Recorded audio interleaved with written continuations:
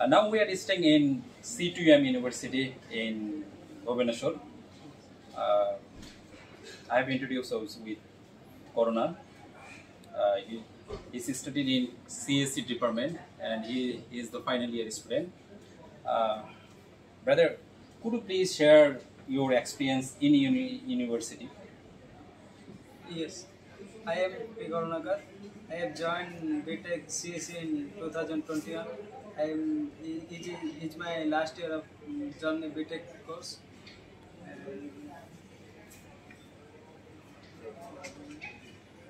We are doing uh, every courses like jobness to for your soft Do you have do you have complete your skill course? skill course. Uh, there are, mm, we have to complete minimum 20 credits in skill course. There have one subject uh, contain 4 credits. Uh, it's starting from second semester or third semester. Uh, I completed three skill courses. One is camera operation, second one is digital painting, and third one is introduction to Blender and Unity. Do you have a, uh, do you have complete uh, your job readiness course? Yes, Yes. Uh, how? Uh, could you please tell me about this course? It is starting from first semester, uh, with uh, sixth semester.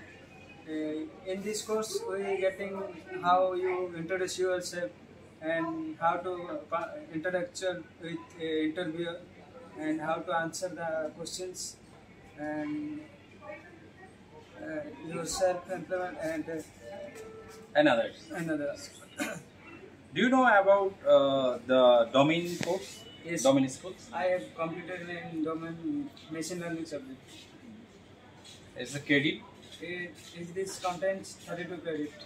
32 credit. Yes. What is your future plan after complete your graduation Doing in the job in in this area or others area? in locality here. A locality, yeah. not Noya Delhi, Calcutta or others. I have Yes, yes, you can continue. Yes, you can continue.